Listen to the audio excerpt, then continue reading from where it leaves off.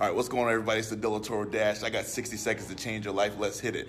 Listen, I love being at live events because you get a chance to meet the best of the best. This is Marquel Russell, the king of client attraction. I know you've seen his videos on the internet, on Facebook, on Instagram. Bruh, it's an honor to meet you, man. Likewise, Here in man. Atlanta, Likewise. bruh. You're doing big things, man. Tell people a little bit about why you think client attraction is so crucial, man. I think uh, most businesses go out of business within 18 months. 80% of businesses go out of business within 18 months simply because they don't know how to get clients consistently coming in the door. Like actually getting people to come to you versus you having to go out and hustle and you know really stump the pavement to get clients every single day. You want to wake up with a calendar filled with ready to buy prospects who's interested in what you have and already pre-sold on what you have versus trying to figure out where my next client is going to come from. So it's extremely important.